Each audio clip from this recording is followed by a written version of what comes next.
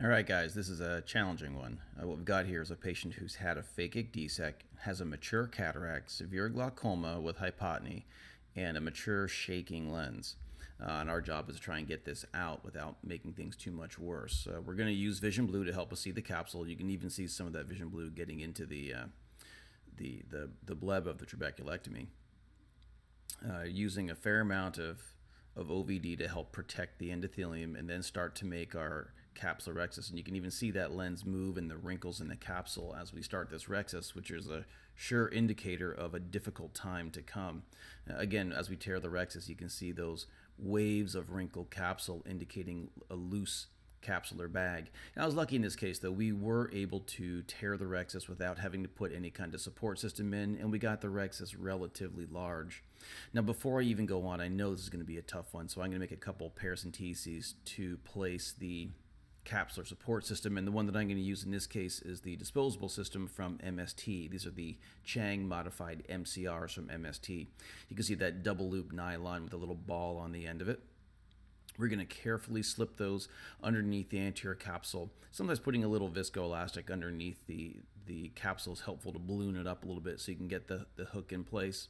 Now I'm going to place a total of four of them in the eye. And once I get all four of them in, then I'll tighten down the little elastic stopper to keep things in place. A couple of different uh, uh, shots at uh, hydrodissection, you know, all around to make sure that lens is loose. And then what I'm going to do is take a scissor, and it's got to be a sharp. I'm using a Westcott here. And I'm going to amputate the ends of the MCR.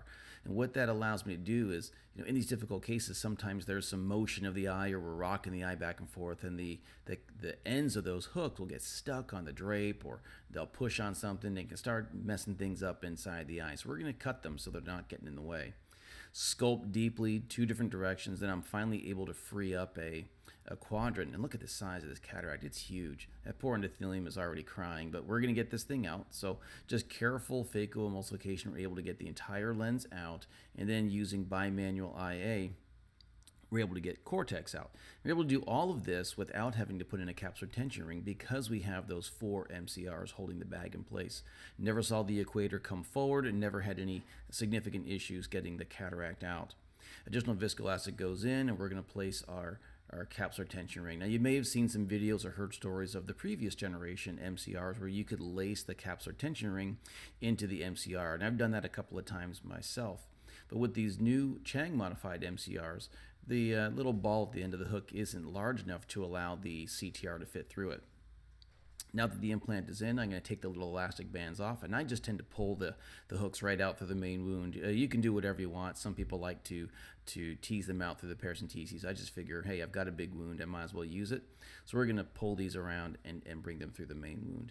And you can still you can see now that the hooks are out, that lens has a fair amount of mobility, but it's no worse than it was before we started the case careful aspiration of viscoelastic, trying not to allow the chamber to shallow when anything goes in or outside the eye so we don't worsen the zonulopathy. Seal up all the incisions. Things look pretty good, although it certainly is a shaky lens. Gave a little Miostat to make sure the pupil comes down, keep the IOL back, and keep pressure down. So thanks to the capsular support system, we were able to successfully complete the case.